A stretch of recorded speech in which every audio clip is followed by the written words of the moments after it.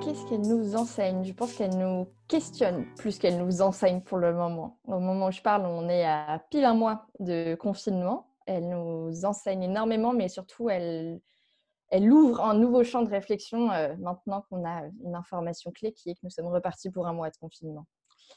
Je pense qu'elle nous a libérés, enfin, en tout cas, je vais parler d'un point de vue assez personnel pour le moment, elle libère d'un certain poids du regard des autres sur nos choix de vie et permet de repositionner nos choix de vie dans ce qui fait notre bonheur. Moi, personnellement, je suis en train de recalculer et de repenser la manière dont j'envisage euh, les années à venir.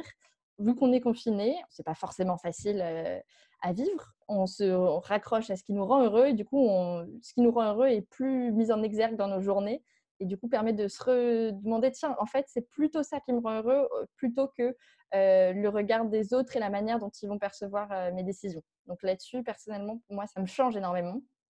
Ce que la crise m'apprend et nous apprend à tous élus, c'est ce que tout le monde a dû apprendre très rapidement, c'est que c'est bien beau d'avoir fait énormément de workshops sur la stratégie de crise, comment est-ce qu'on réagit, etc.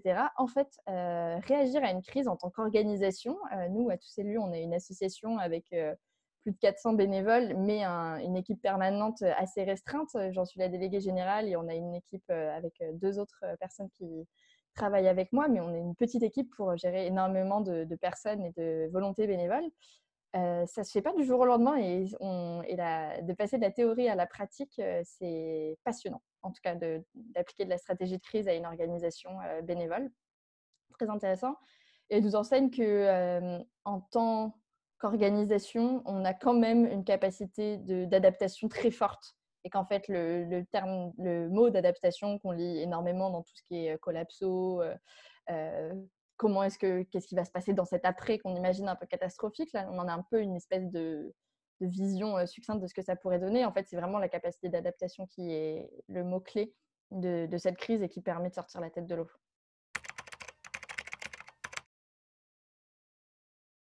pour permettre de changer les choses dans le système, encore faut-il avoir le pouvoir. Et le pouvoir, je suis pas sûre qu'on l'ait en fait. Euh, se dire qu'est-ce que cette crise va nous permettre de changer. À l'heure actuelle, on n'est pas sur euh, une capacité de pouvoir faire changer les choses euh, d'un point de vue individuel et d'un point de vue collectif et notamment politique qui est mon axe de vue. Moi, je pense que le politique a un levier de changement incroyable et un levier de pouvoir sur nos vies et notre quotidien immense. On s'en pas toujours tout à fait compte. Je pense que pour le moment, le pouvoir, on ne l'a pas. Et ce qu'elle est en train de changer sur le, système, c'est le détricotage de nos droits sociaux et de tout ce pour quoi on s'est battu pendant de nombreuses années pour accueillir des droits, les 35 heures, le chômage, tout un tas de choses qui sont en train d'être détricotées par le gouvernement qui profite de cette crise pour détricoter tout un tas de droits sociaux. Donc pour le moment, je n'ai pas l'impression qu'on puisse changer quoi que ce soit. Si en temps normal, on a le pouvoir de faire changer les choses, il est déjà assez restreint euh, il passe par manifester, signer des pétitions, aller voter, euh, faire, euh, faire du plaidoyer pour certains sujets, etc. En temps normal, notre pouvoir est assez restreint dans le cadre de notre démocratie. À l'heure actuelle, on ne peut même pas manifester.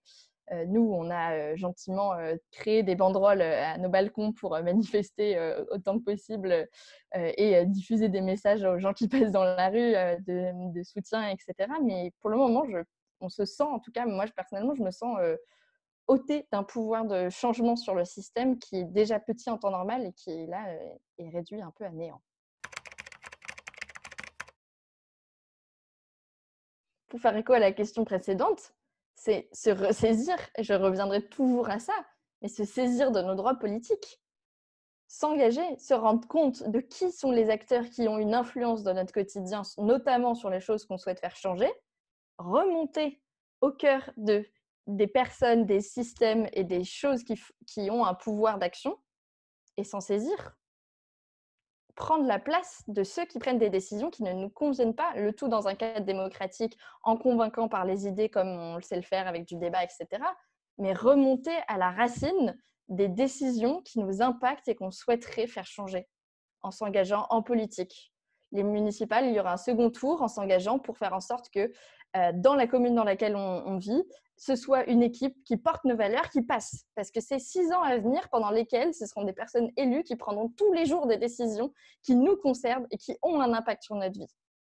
Dans une société très axée, où on est de plus en plus axé sur le développement personnel, l'individualisme, etc., euh, on a tendance à mettre de côté l'impact et le pouvoir euh, de collectifs euh, démocratiquement élus qu'ils ont sur nos vies, mais le pouvoir se lit ici en fait. La hauteur de mon loyer, le coût qu'a l'eau dans ma ville. Moi j'habite à Lyon, le coût de l'eau il est extrêmement élevé et c'est lié à des décisions politiques à des hommes et des femmes que nous avons élus ou qu'on a oublié d'aller élire parce qu'on allait à la plage ou parce qu'on a souhaité ne pas élire pour des raisons euh, peu importe lesquelles, qui prennent des décisions quotidiennes qui nous gouvernent. Donc si elles ne nous conviennent pas, si on veut changer le monde, si on veut que les choses ne soient plus comme avant, c'est en s'engageant à la racine de ce qui a un impact sur nos vies.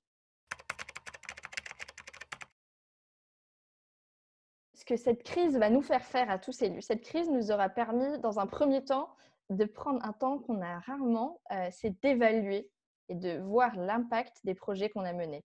Ces deux dernières années, on a formé, accompagné plus de 3000 jeunes à s'intéresser aux politiques et à se poser la question de pourquoi est-ce qu'ils ne seraient pas élus un jour.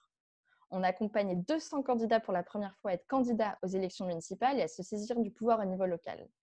Les élections municipales ont plus ou moins eu lieu dans les conditions qu'on connaît, mais cette crise nous a permis de faire euh, faire le, constat de qu'est-ce qui avait marché, qu'est-ce qui n'avait pas marché dans nos stratégies.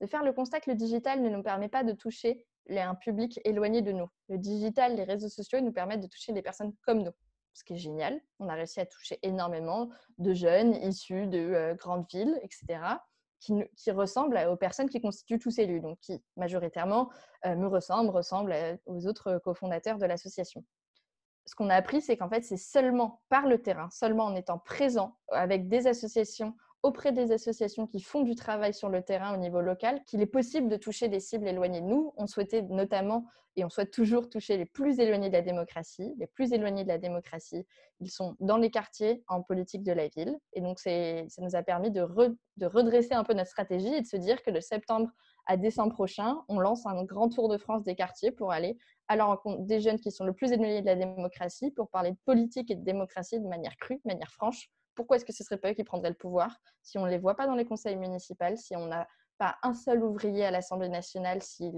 la représentation sociologique de nos élus ne correspond pas Peut-être que c'est au public qui n'y sont pas présents de s'engager et à nous de les aider.